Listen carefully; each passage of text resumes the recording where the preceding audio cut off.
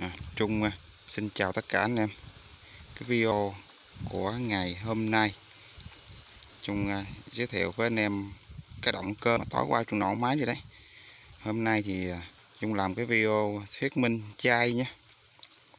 Quy nhà hết rồi không còn cái nào một con lắp vào xe tải một con không còn một tí điện luôn. Bây giờ đề máy là bó tay làm cái video chai để giới thiệu các cái tính năng của nó và thông số của nó cho anh em xem và cảm nhận.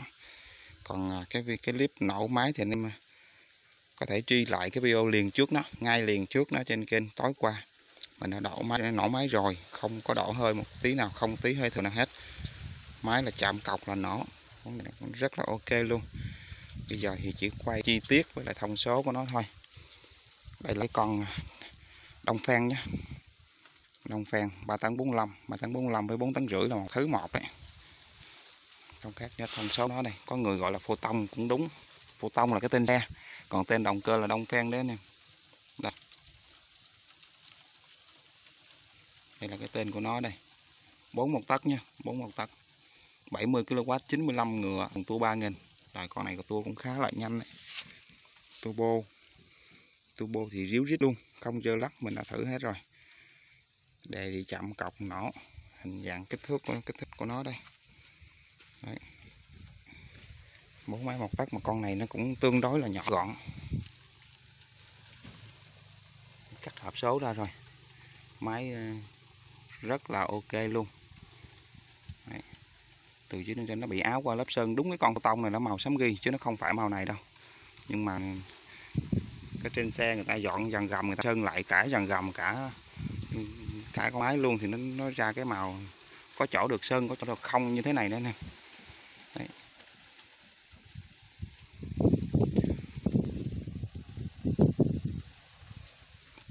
đây, anh em nhìn cái độ cái độ mòn cho tấm bố nồi.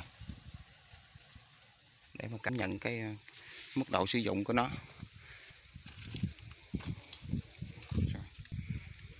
Bốn máy. Bát kim luôn nhá, con này là bát kim. Bát nhỏ này, con này ít hao dầu. Heo thì nó chỉ có, nó nó không ngon bằng heo lớn nhưng mà cái dòng này thì nó heo nhỏ. Đây, con heo là heo nhỏ. Áp cao rồi. Đây này, cái màu sơn riêng của nó đây này. Vì áo sơn đấy.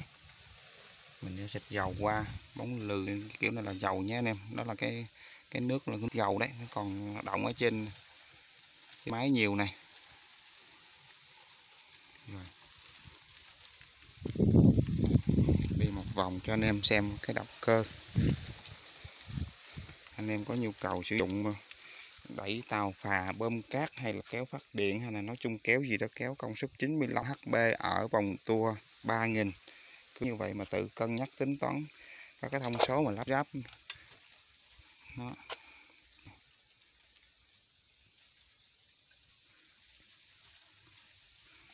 dơ dơ bẩn bẩn sao thì để y hệt như vậy, anh em dễ cảm nhận chất lượng hơn.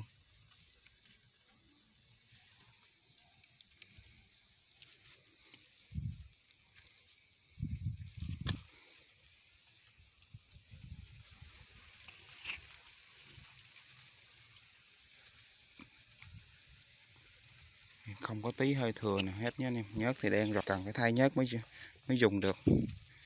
Này.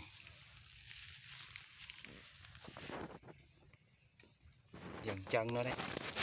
Máy thì hai bên không lắm lem thì có sao mình để như vậy cho anh em dễ dễ xem. Dễ xem, dễ cảm nhận hơn. Không có mong má sơn phết nhiều quá rồi cuối cùng anh em khó nhìn. Này cái động cơ nó nhìn ngang nó như thế này đây.